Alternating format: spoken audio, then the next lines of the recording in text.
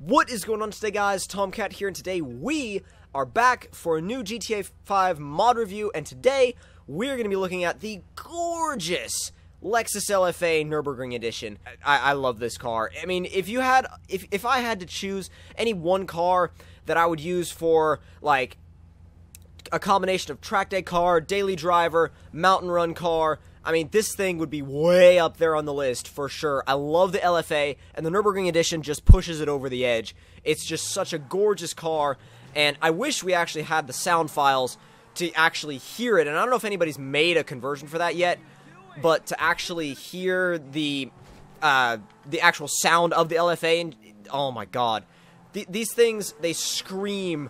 They're like, think of it this way: someone took a demon and pretty much like they took a they, they, someone took a demon and tortured the hell out of it and basically put it inside of an of an engine. And it's just always been in there screaming constantly to this day in inside inside every single LFA V10 and I wish we could hear that right now because it's such a glorious sound. The LFAs they sound so angry too. They sound so like it's such a like, seriously, no better term for it. It's such a pissed off kind of sounding car. And it's not in the same way that, like, a Ferrari sounds like music. A Lamborghini, a Lamborghini, sure, it sounds very angry, eh, bleh, very angry, but it also sounds very musical. The LFA, yes, it sounds musical, but this thing just sounds pissed, man. It just sounds, not in GTA, obviously, but in real life, God, these cars are screamers. Now, as far as the GTA 5 version goes, the, the modder did a really good job with all of the conversions and the modding and everything like that, except for one little thing. Look at where Franklin is sitting. He's kind of sort of sitting inside the seat, not actually in the seat. And that can be a little bit of an issue if you're, I don't know, if you like to play the game from that angle or play the game from, hey, what's up, bro? Play the game from that view, but it's still, nonetheless, it's still a fun car to drive, even if it's got one or two quirks to it. I mean, every mod is going to... Come on! There you go. Nice Raptor, bro. But let's actually go ahead and do some first-person view driving, because the steering wheel and the tach do actually work, and it's kind of nice to be able to look around inside, you know, your LFA Nürburgring edition. And I'm just like, LFA Nürburgring edition.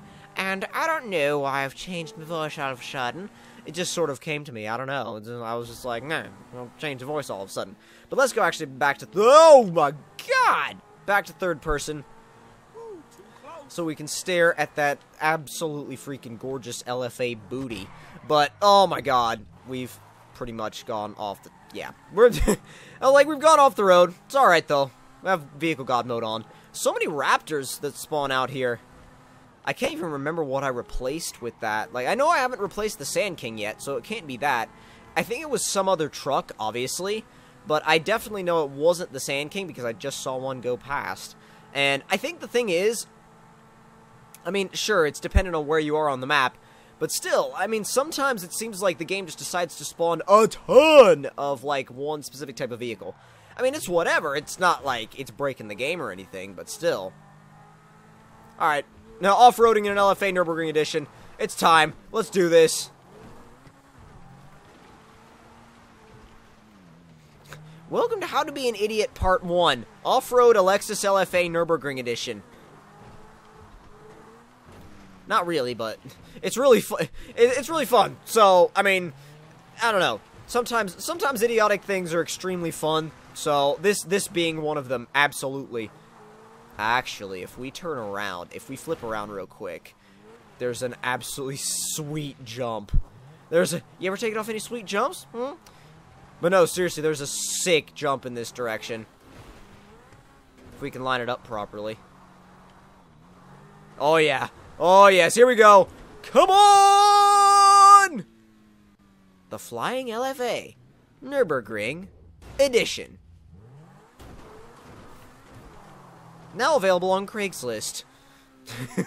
Minor body damage. Only jumped twice. The usual. Asking $850,000. But... oh god. Going... Just browsing through Craigslist and, like, the cars section.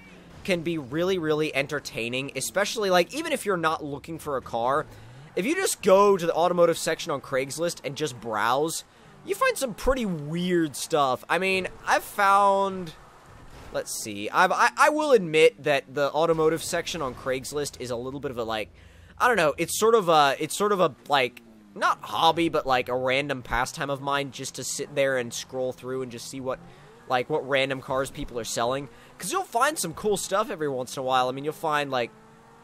I found one time um, an old Beetle with uh, with some sort of ridiculous engine swap and like a whole Baja suspension setup.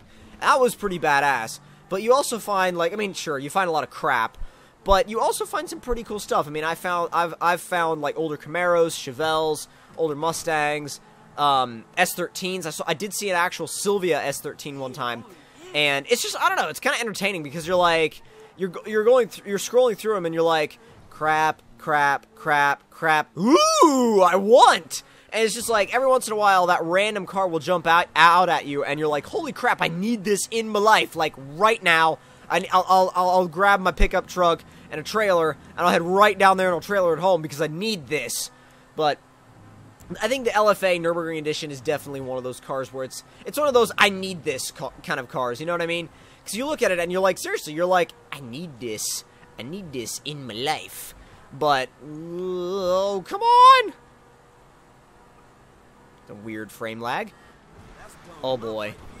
Here we go!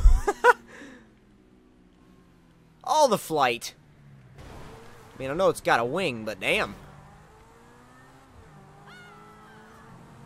Now, I think final thoughts on this mod, as far as like, as far as how I feel about it, I think they did a really good job with it. I think they need to fix that seat issue. I think they need to fix a couple of other things uh, as well, like the um, the texture on the wing is just a little bit off. It's just kind of like a matte black, and I would I would prefer it to have a little bit of an extra texture on it, maybe some reflective quality. But other than that, I think they did a really nice job with this mod. If you want to add a, a car to your kind of, you know, supercar garage or ultimate car collection or whatever you're kind of building up to in GTA, this is definitely a worthy addition.